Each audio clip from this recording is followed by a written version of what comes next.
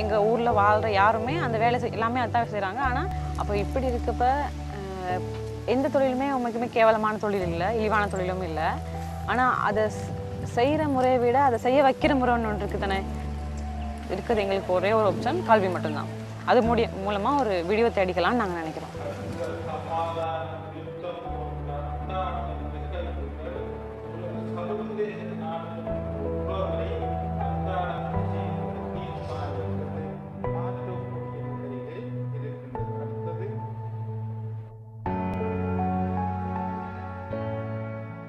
எனக்கு அம்மா அம்மா. அவங்களும் ஒரு தேயிலை தொழிலாளி எஸ்டேட்டில் தான் வேலை செஞ்சாங்க.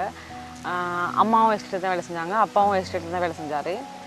அப்போ அப்படி பார்க்குறப்ப ஒன்று அந்த தொழிலால் கிடைக்கிற வருமானம் இன்னொன்று அதில் கிடைக்கிற கஷ்டம்.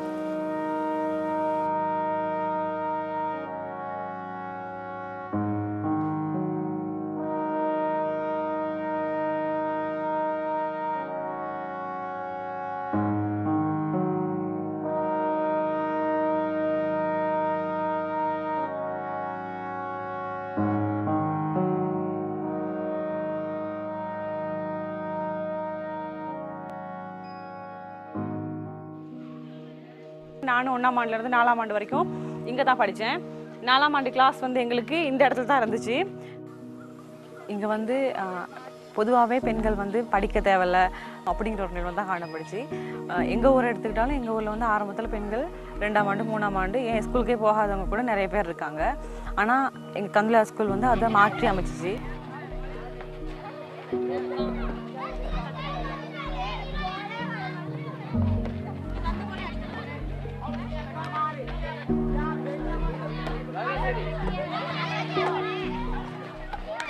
திரேசா ஒரு பதிமூணு வயசுலேருந்து படிச்சிச்சு. வீட்டு கஷ்டத்தை நினச்சி நினச்சி அதுவும் பங்களாவுக்கு போயிடுச்சு கொழும்புக்கு. அவர் சேர சொன்னார் அம்மா படிப்பை மட்டும் நிறுத்தாதீங்க. அப்படின்னு சொல்லவும் திரும்ப சேர்மார்கிட்ட கொண்டு போயிட்டு ஒப்படைச்சேங்க. நாங்கள் மாதிரி தேயிலை தொழிலில் வேலை செஞ்சு அட்டைக்கடிப்பட்டு மழையில் நனைஞ்சி வெயிலில் காஞ்சி வேலை செய்யாமல் இந்த சமுதாயத்தை கொஞ்சம் அழகாக கட்டி எழுப்புற தான் சார் நாங்கள் விருப்பப்படுறேன் பிறகு இந்த ஒட்டாட்சி வந்து பிரிப்படுது போக்கு வந்து பிரிப்படுது அந்த உங்களுக்கு